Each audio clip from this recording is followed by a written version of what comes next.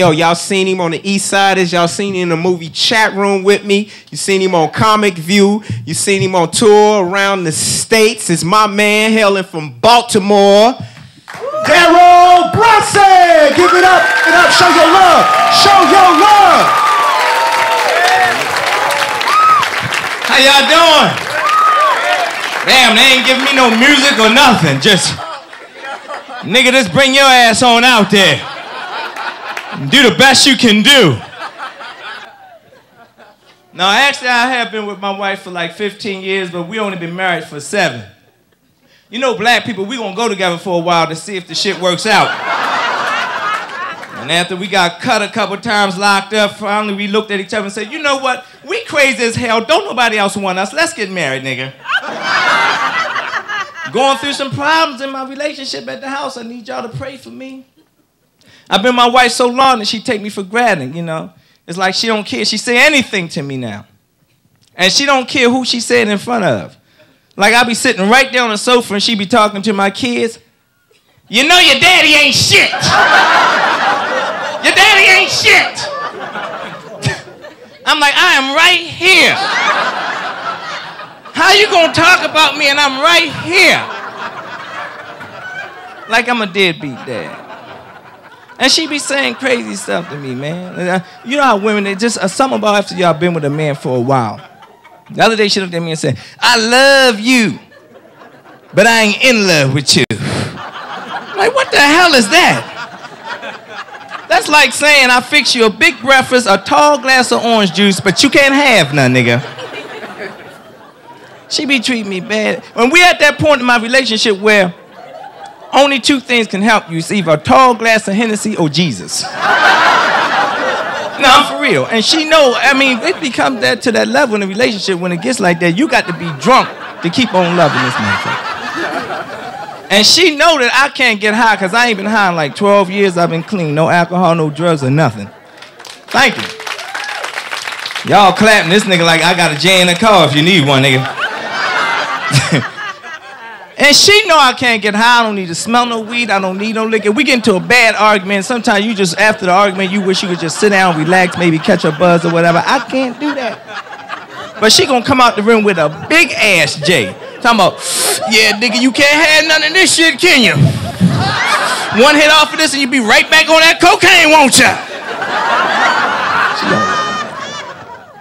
So I have two lovely daughters, two teenage daughters, one 14, one 18. Both of them virgins. the hell is wrong with y'all? Like y'all know my daughters or something.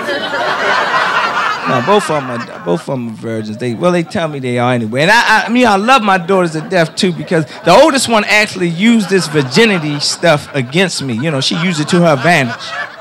Like the other day, we were shopping in the store, and she wanted to get some tennis shoes. I said, "Go on and get you them Adidas right there, baby." She, Daddy, I don't want no Adidas. I want them Jordans right there. I said, you're not getting no damn Jordans. Them tennis cost $185. I don't care if they do come in a briefcase. You can't have them. She said, well, Dad, I can be like the rest of the girls in my class with my ass tossed up in the back of a station wagon somewhere. Some niggas is behind me, and I can get them Jordans. I said, well, get my baby two pair. Get her the black and the blue. Get, get my baby girl and don't sit here like y'all judging the, the comedian. Some of y'all just staring like, okay, nigga, that's one good joke from you. Didn't they tell you niggas to laugh it up? Y'all getting all cute and bougie and shit. You is not Martin Lawrence, nigga. You is. I'm getting older now. That's one reason why I'm trying to stay in my relationship because I'm getting older. You know, I'm around that 30ish, well, late 30s. Ah, oh, fuck it, I'm about as late as 30s as you can get, God. Oh, I'm 40 years old. What the hell, y'all? y'all have church for a nigga too when you feel sorry. Well, that's all right, baby. You look good for 40. Look damn good. And that's a trip too, because that's the age like when you young and at the cookout, when you 22, 23, y'all know some of y'all out there now, your aunts don't even tell you you look good and shit when you're 21. They don't say nothing. When your titties all perky and you're looking good, they don't say shit.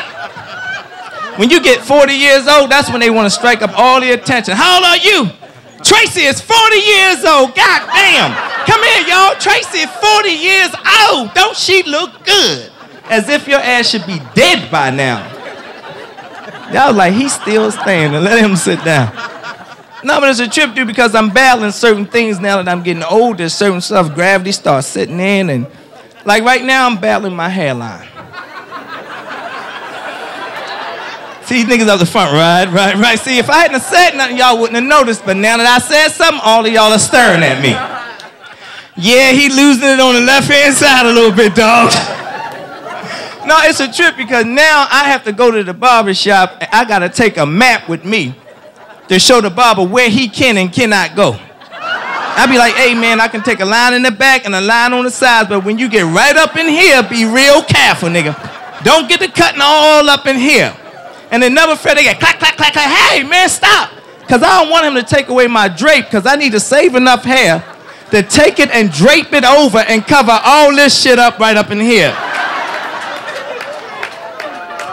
the drape. I hate when I get to the house and can see that they done took away my damn drape. Nigga, where is my drape? Then I go out that night and I don't know, I'm trying to fix my stuff up.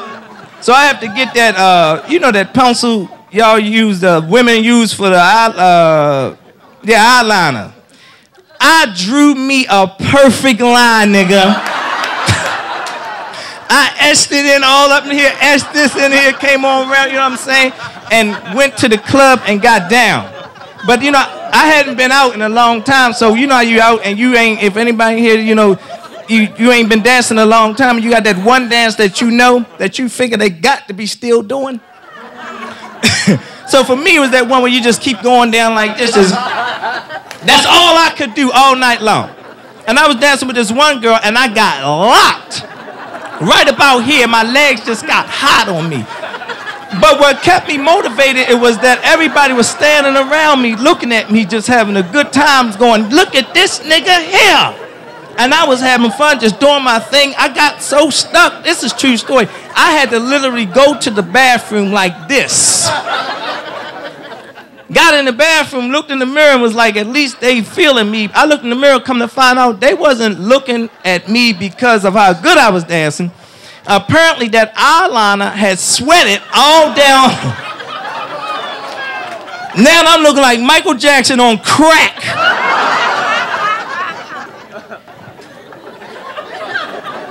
I can't help it. I'm working out now too. Finally. See, when you get older, you start trying to beat death. So now I'm going to the gym. and I got my definition is building now. Finally, I got a little chest. I got that dent right here and got the little shape right here. But you can't see it with the sweater on, but it's there. But even though I'm in shape and I'm kind of built, my left nipple is still pointing down to the ground because of gravity. So I gotta tell people, I like put a band-aid on it when I go swimming and tell people I cut myself shaving. so I'm trying to deal with the whole age thing, and I, I'm thank God that I stopped getting high though. Round of applause if you smoke marijuana every now and then. Yeah. Isn't it amazing how a crackhead will raise their hand anyway? They don't care if the police is in here. Yes, nigga, I do a little crack every now and then. Now, I had to stop smoking weed, though, y'all. I had to leave it alone. And I'm going to tell you why. Because anybody know that real good chronic, if it's real good, it'll make you do the same thing over and over again if ain't nobody there to stop your ass. Good weed will. Like one time I was driving down the street, going down Crenshaw, and I was on like Crenshaw and 43rd Street. I know I was high because I had nail laters and lemon hair stuck all to the back of the seat and a white police officer pulled up next to me. Now, here's a white police officer looking at me, and I'm a black man in white America. I'm so high that the white police officer looked over at me and smiled. Do you know I looked right back at his eyes and smiled right back at him? And then I just sat there with my heart beating and looking at the light at Crenshaw and 43rd, right? I'm looking at this light. This light is red. I messed around and looked at the light at Crenshaw and 49th Street turned green and ran the freaking red light.